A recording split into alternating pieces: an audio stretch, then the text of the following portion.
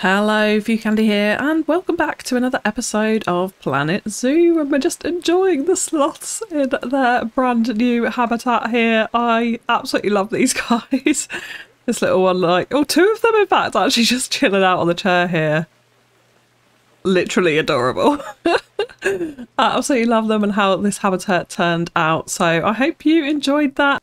And I have just come in and made a couple of changes. So we're getting lots of warnings and complaints that we didn't have any ATMs. So I've just stuck this in somewhat temporarily because they're massively blocking our key path here, which is going to lead up to a grand plaza all the way at the end over here eventually. Uh, so we will be moving that. I've added in another little one over here behind the toilets and the information booth by the lemurs, which is a bit more of a suitable place, a little bit out of the way just with some very basic wood panels around it and some plaster panel pieces on the ceiling there, which produces a little ATM shelter. It's a little bit odd. But I wanted it to be a skinny, thin building, so using those panel pieces for these different uh, textures I think worked a bit better than using big full-on walls.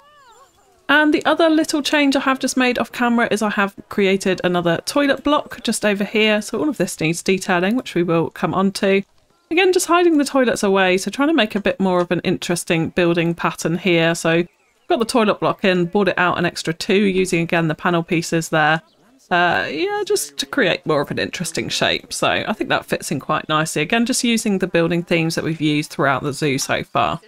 So the plan for today is to come on and talk about walk-through habitats. We've done walk-through exhibits last time, so we're going to talk about walk-through habitats this time, which was a request by my Patreon, David Shot. Thank you so much for that.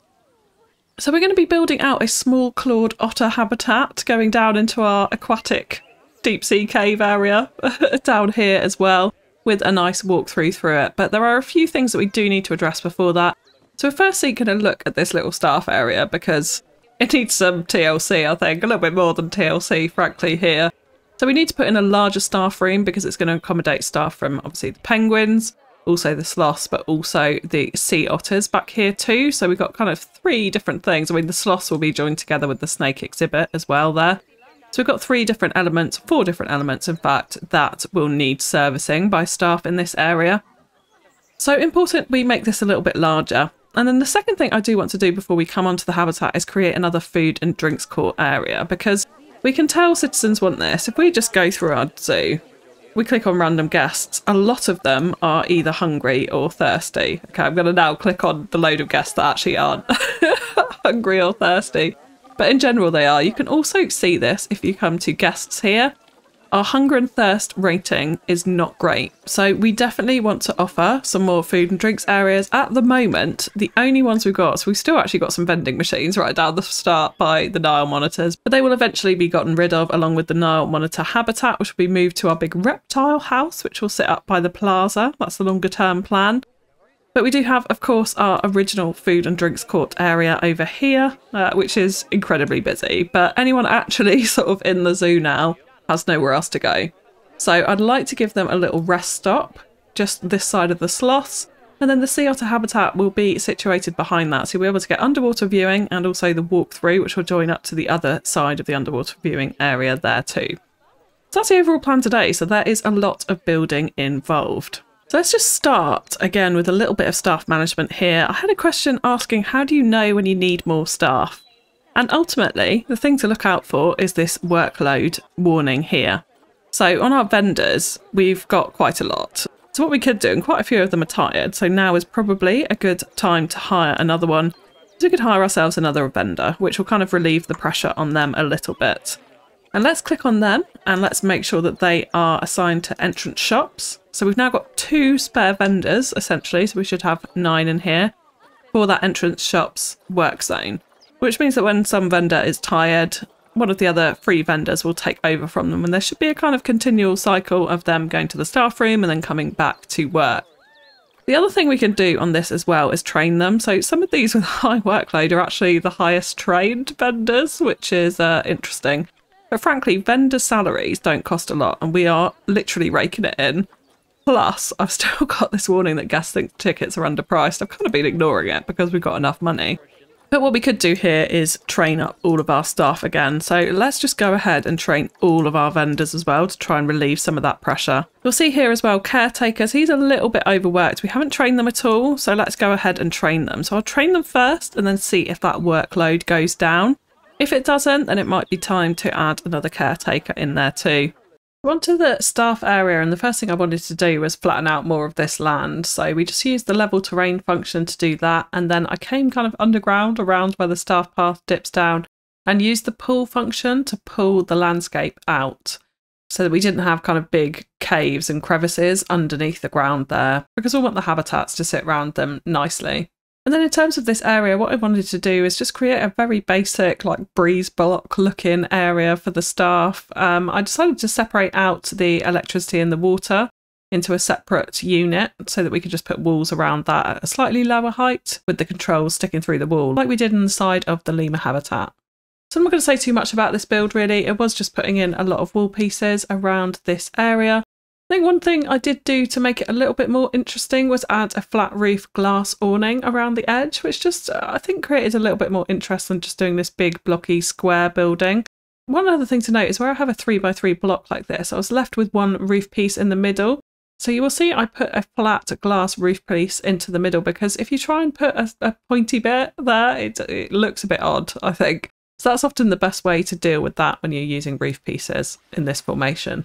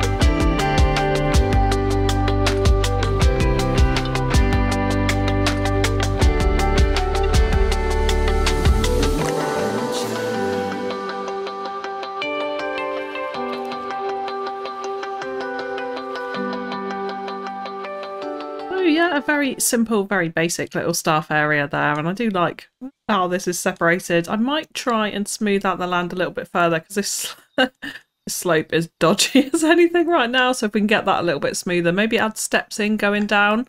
I will do that in the detailing time lapse later on. So coming onto our food court area before we start doing the habitat, because that's going to sit kind of behind this area. What I'd like for this is actually a raised platform area. So I'm actually going to go for a path width of 4 for this because I want this to be quite a uniform grid that we can build around. So what I'm going to do is just bring this out straight for now by two sections like that.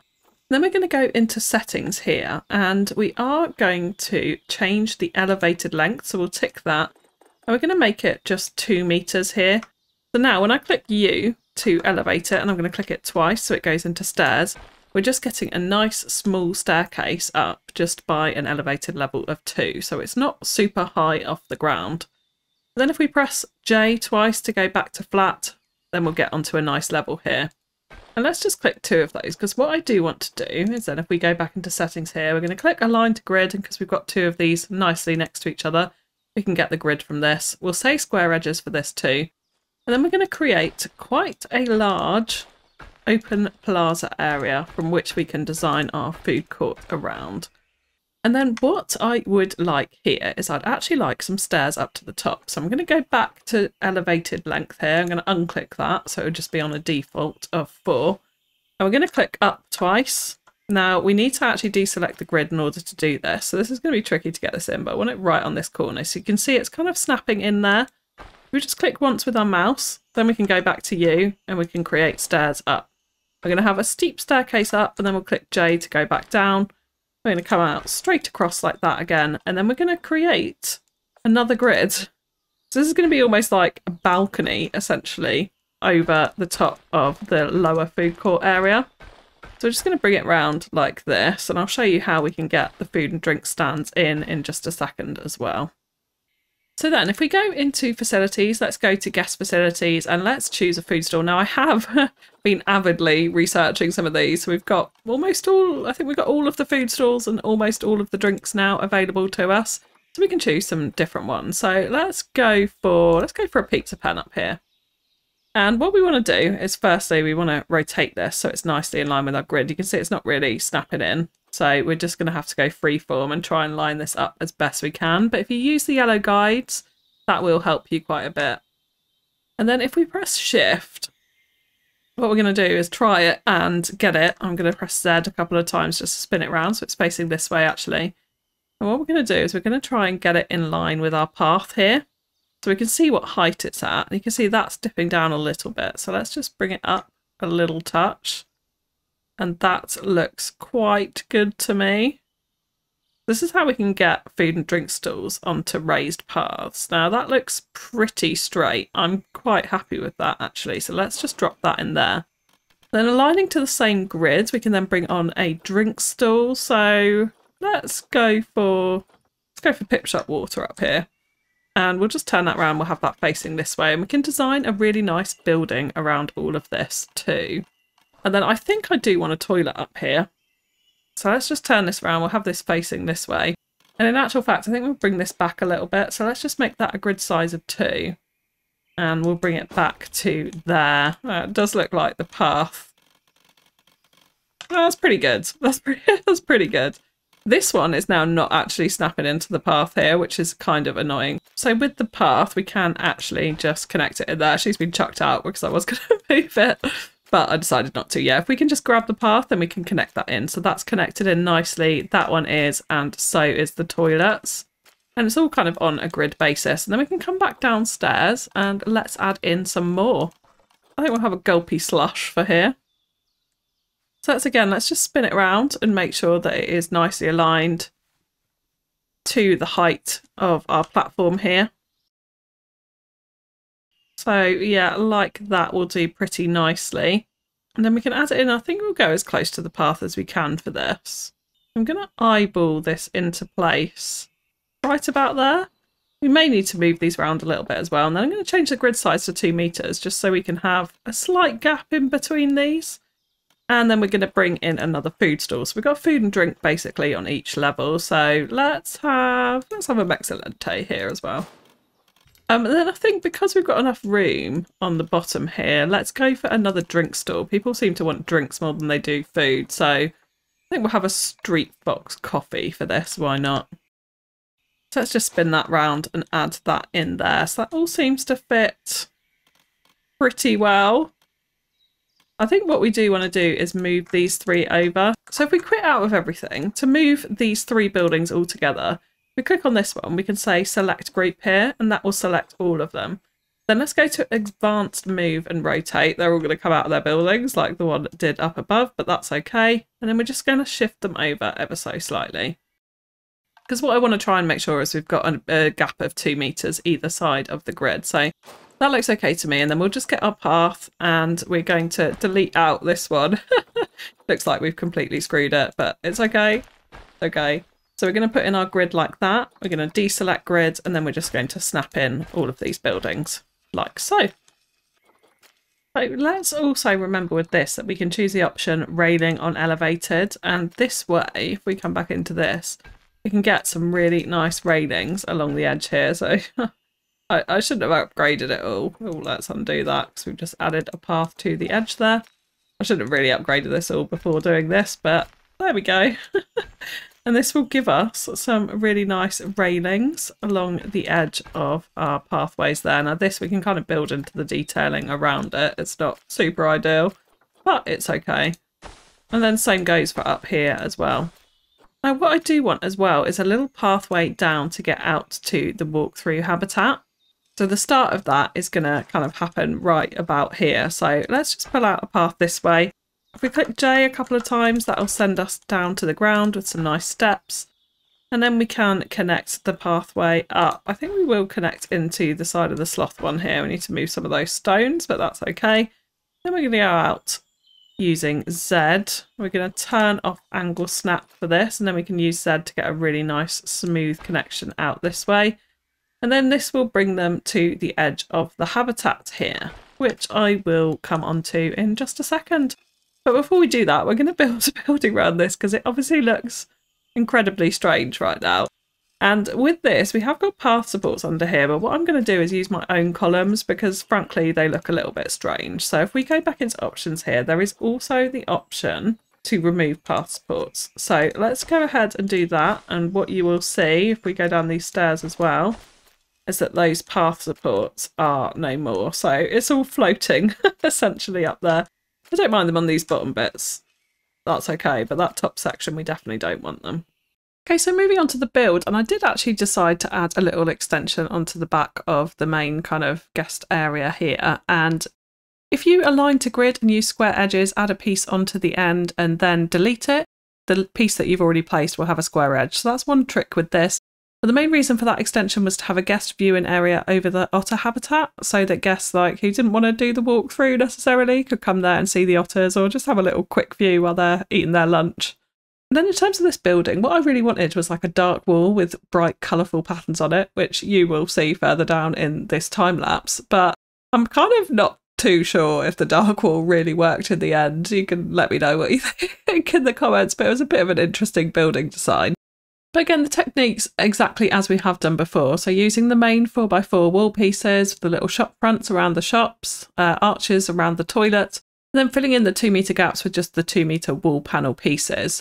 Now to get rid of a lot of the railings around the paths, I did add in extra wall pieces, which is adding the bright colourful element that you will see again further into this time lapse. But for instance, around the toilets, I also added in a double wall just to get rid of the extra railings there, because that just covered it up really nicely. But again, there's not too much to say about this build. It's all the same building techniques that we have covered previously in the series, so I will just let you enjoy the rest of this time lapse.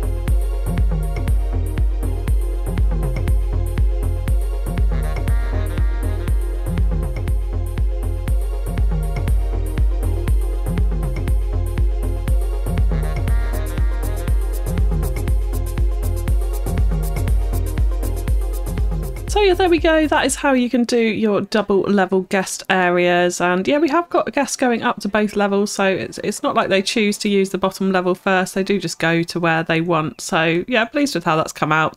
And I have also just stuck a little electricity box actually in just down the back here. There's a staff path hidden underneath this flooring that I've put in here.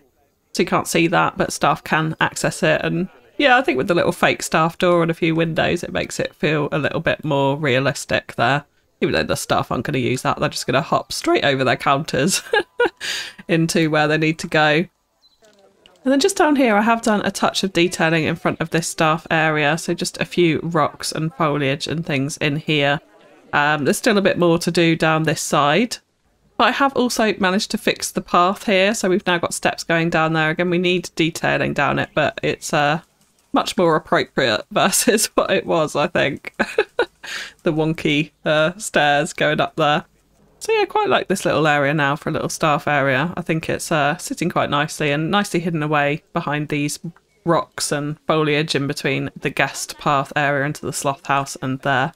And do remember, with your staff buildings, you have got that area of negative effect, but this is reasonably close. But with all of this detailing around it, so the building pieces and the trees and the rocks and things like that, that minimises the area of negative effect. So there's actually no bad effect on the guests from having that right there. Okay, so coming on to our habitat. Now you will see I've done a bit of terraforming here. So I have come in and sorted out this path. We've done the same technique that we did before, which is why I haven't shown you. So we've used terrain stamp with the X function just to slope it nice and gently up this hill there. And I've done two little viewing windows. So this is going to be our otter habitat over here. And then we will come on to the seals this side another time. But for now, we're just focusing on this side. So I've split the main path off into two little viewing areas here. And again, we'll need to do some detailing around this, adding some education signs and benches, maybe a couple of vending machines even down here, because we do have the staff path access in the cave all the way down here, hidden away there. Again, we might do something more with this, maybe add in a door so that people can't see that path area. And do you know what? We actually need to get rid of this long grass here, so let's go ahead and do that. So we'll just add in some rough rock texture there to get rid of that. Um, but yeah, it's feeling quite nice. So I think they'll come through the cave and they'll come out into an open sky area with two big glass viewing platforms for the seals and the otters either side. That is the plan. But let's have a little look at our Asian small clawed otters. So this is what we are going to put in. And they are vulnerable, so they will be relatively attractive for guests. Uh, native to Central and Southeast Asia as well. So we could do some Asian style detailing within this. We've got the three biomes that we can use here, and of course, we also want to take note of the fact they only need a grade 2 boundary, which is less than one metre, so it doesn't need to be particularly tall for this. And then in species data, you can see we can have up to 16, so it could be 15 males, 15 females. There's no like single male group with this particular animal. So I think what we'll do is we'll have probably seven males and seven females to start off with. And the best thing about this is this guest can enter habitat, yes. So that means we can do a walkthrough habitat where the guests can go in and walk around the otters and around the otter habitat because their relationship is is fine with humans. Um, so that's going to be really fun. So that's what we're going to explore today. But let's just check. So if we had 16 adults in there and let's say every every mating event they have one to three offspring. So let's say we have 16 adults and let's say I don't know if all if all of them become pregnant. Let's say there's 14 kids in there as well. This is the size that we'll need. So we'll need 870 of land plus 348 of water and 232 of deep water requirements. So we'll want to make sure that we've got that in here. So of course, first thing to do is add in our boundaries so we can check the habitat size. And to be frank, I think this is going to be absolutely massive because what we're going to do is extend it sort of down this way so the guests can walk in and around the edge of it with the little bridge over the river here. And this river as well, I've kind of pushed it down because what I do want is it flowing into the lake, which is going to sit here. So I have a nice pedestrian bridge going over it this side. And then we've, of course, I've left this viewing platform so they can see the otters around them there too. So let's go into our barriers. So we only need grade two, so we're just going to go for the wooden logs for this. I'm going to draw it in with this, and then of course we'll probably change it up to the null barrier and put in some detailing with it as well. But this is what we'll use for the basis of it for now. So I am going to use four meter segments because I think that makes the most sense. So we'll just pop in the start of it there, which is where the guests ultimately are going to walk in. And we're just going to build it all the way around the area that we want. Now, of course, with this section, I'm going to click away and I'm going to do a glass barrier. Now, there's a few options that we haven't explored with this as well, is you can have a flat top, an editable bottom, or an undulating barrier. So if you've got a habitat which is kind of up a hill, you probably want to go for the undulating barrier so that the height, the height of the barrier will change as you go round. If you go for flat top, then it will keep the top flat. So if I come to add in a piece of barrier here, if we go across this waterfront, you'll see it's keeping the top of this completely flat and the bottom will edit depending on what the terrain is like. You could of course do it the other way, so you've got a flat top and an editable bottom. So at the moment with that, we can edit the top of the barrier and pull it down, but we can't edit the bottom. If you wanted to edit the bottom for whatever reason, you could use this one, which is sometimes useful, and we'll probably use that later on in this series, but right now we just want to use the flat top. And then, like I said, undulating, you'll see the, the barrier goes down in height, so it keeps it at a 2.7-ish meters off the ground, but brings it down in height as the terrain changes. So yeah, useful little options there. Okay, so here, where we're going to have water flowing in from the habitat out of it, what we do want to do is we do a barrier that is not watertight. So here, what I'd like to do is actually the chain link barrier. So we're going to bring that across. Um, I am going to make it a little bit longer so that we can get all the way across here. So just do it like that. And then what we can do, of course, is then just move this barrier so it's right up nice and close to the edge of this viewing platform here. And then I'm actually going to draw in null barriers around this because this will essentially be our barrier this side. So going back to here, we only need it to be actually more than one meter. So at the moment, this barrier is very high. So let's select the entire thing and it's pretty much a flat top. There's slight variations. What we'll do is just lower this down literally as far as we can go. We'll try and keep this glass flat along the front here. And what I do want to do here as well is remove some of these. So we're just going to click on some of those posts and get rid of them like that. So there's less posts for the guests viewing in this area. In fact, I think we'll even get rid of that. So let's make this longer and then this will be able to snap into that barrier. Let's do exactly the same thing here. We've just got that one post in the middle, so it's not interrupting the flow of guests viewing. So we still need to have a keeper gate in here. So let's go ahead and add this down at this back side here, because what I will do is do a little house for the otters over this side. And then they have direct access into this staff area where there's the keeper hut and the staff room and everything they need. So I have an output in the water. It's definitely not perfect. It needs some smoothing around the edges, but it will do for now and we'll fix it later. So coming on to a walkthrough habitat. So in our barriers, what we do want, so we obviously still have the keeper gate, which we will need, but we do then also have this guest gate. So what we'll do is place this in along the barrier here. We may need to move this path back just to get this in. And yeah, that now sits in a bit more nicely there. So we'll, yeah, let's add that in there. And then you can make a loop and come back and just have one guest gate, that's not a problem. But what I would like for this is actually then walking through the entire habitat. So we're going to bring out the exit essentially over here. And then what we want to do is connect that up via paths. And I think the best paths for these generally are the natural paths. Um, so yeah, if I show you this, you can see there's literally like no marking. So if I click away from that, you can't see it at all. So that's one way that you can do it. Or if you choose, you can do curb on ground path. And then if we upgrade this, what that gives us is markings, which I think for a walkthrough habitat is probably better because at least then the guests can see where they're actually walking. And there's different types of curbs, so you could have this one with the barrier there. Um, so that's, yeah, quite cute. And you can have ones which are where the, the path is marked with kind of different terrain, sands, etc. I think we will just do this one for now. And what we do want over here is a bridge, but that is uh, quite long. So let's go back and see if we can make this a little bit nicer. I'm going to turn off curved slopes. We get this over nice and smooth. And we will also turn on angle snapping. We can get it nice and straight across. We'll just bring it down like that and doesn't look too bad. it doesn't look too bad. I think we'll go for that. Let's turn off angle snapping again so we can get a nice smooth path down the side here. We'll bring it right out to the water's edge. So they can sort of follow that round and see the otters swimming in their natural habitat there. And we'll just simply connect it up around the edge here. And one key thing with the walk-through habitats is sometimes the animals can get a little bit stressed even though they're happy with the humans walking in there. So what you want to offer them is various different places where they can hide.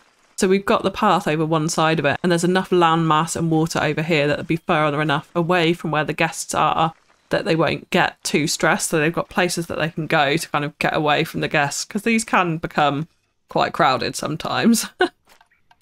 now, the other thing that we absolutely definitely want to be putting in here is if we come to facilities in bins, benches, and security and the security tab, there are various different things. And we're going to go over guest curb barriers at some point later in the series. So do not worry about that. That stops the guests from walking places you don't want them to walk. It's very, very useful indeed. But the key things we do want to be aware of are the security signs saying do not disturb and do not feed. and that is absolutely definitely what we want in this habitat. Now, these are not the nicest looking signs, I will admit, but they're really important. Like, let's have both of these in at both entrances because this is the thing guests will walk both ways where we've got two entrances like this, which isn't ideal. I wish you could do a one way path essentially for them. But yeah, let's put in a few of these at either entrance just to remind guests that there are animals in here and they need to behave themselves. They need to be quiet do not disturb and definitely don't feed the animals. And this can also be really useful in things like this prairie dog habitat because technically guests could both throw food over this barrier. So you can have signs like this here uh, to stop them from doing that. So if you do get any warnings saying like guest food is in your habitat, then you probably want one of those signs. So I'm going to go ahead and purchase the otters. We're going to have seven males and seven females and then get started on designing out their habitat here.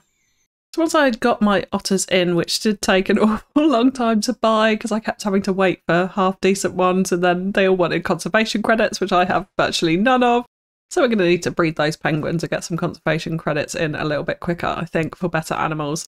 But yeah, the first thing I did after that was go through and do all the terrain requirements. So in particular, getting rid of a lot of the long grass and adding a bit more short grass to it, but also mixing in the heavy soil with the light soil. Again, the tip here being lower that intensity, do small brush strokes and, and mix it all in together so it kind of blends a little bit more naturally than if you do heavy brush strokes and, and large areas.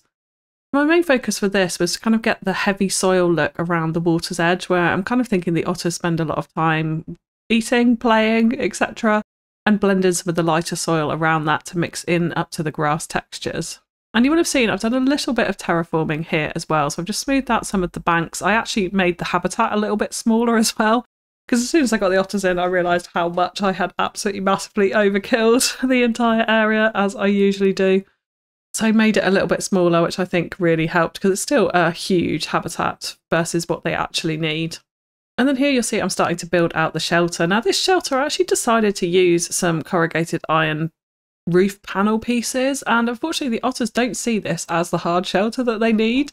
Although they're absolutely fine because they have got the bedding as well and they do sleep in it. There's not a problem with that. But for some reason, because I haven't used actual roof pieces here, it doesn't recognise it as hard shelter. So it's pretty frustrating. But I really like how this little shack has turned out, just piecing together various different wood panel pieces.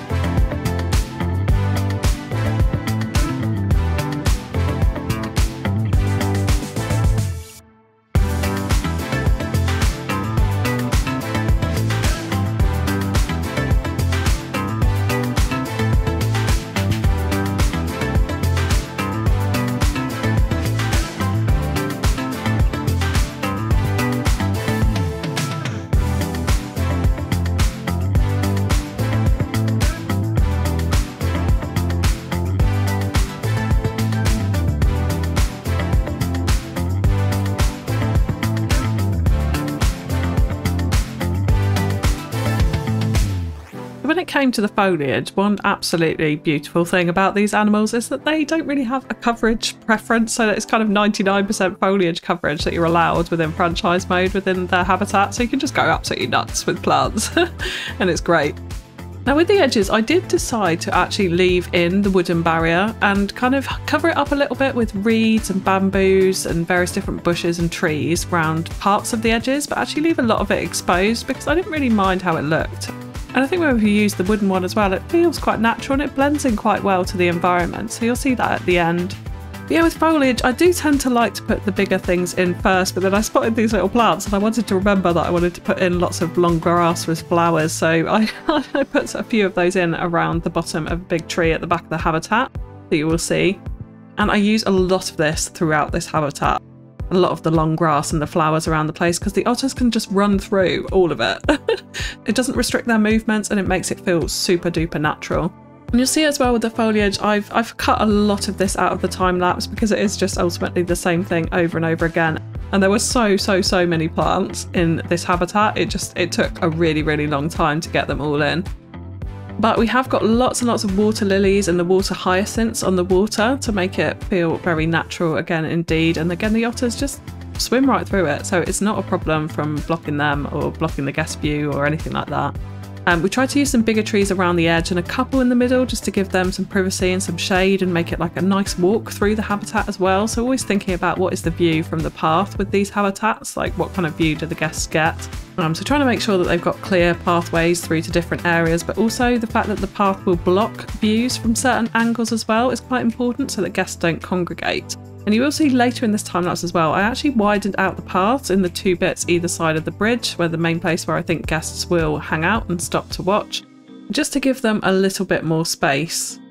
But yeah, pretty much the rest of this time lapse is foliage. So it was really about providing shady spaces for the animals, covering up some of the boundaries like we've mentioned, and just making it feel really nice and natural.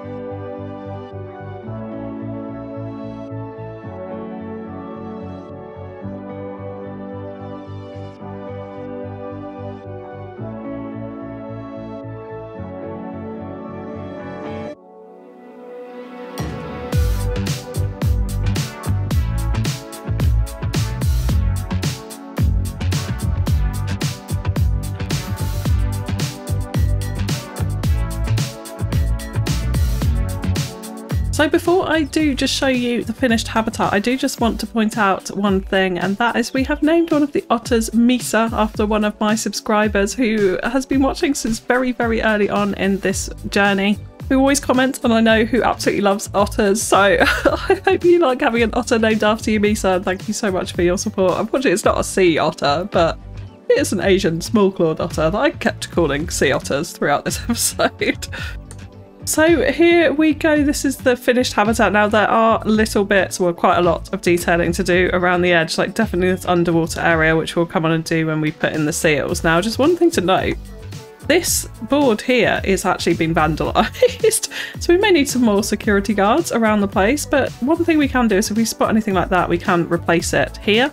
The other way we can do it is going into the zoo menu and going to the crime menu here, and you can see which objects have been vandalised, and you can choose to replace all of them from here. So we'll just do that and then magically it is fixed. but yes, lots of detailing still to do around the outskirts of this habitat, but the internal part is, is definitely complete.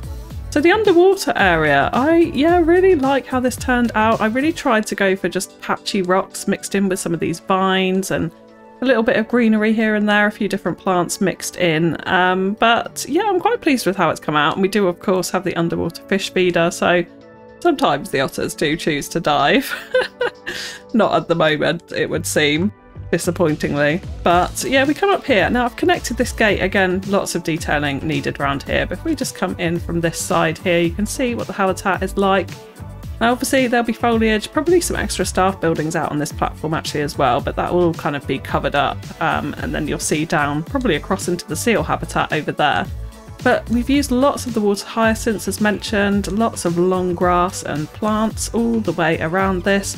Important to also add in bins because your guests will drop litter as they go through the habitat, which is like honestly absurd to me.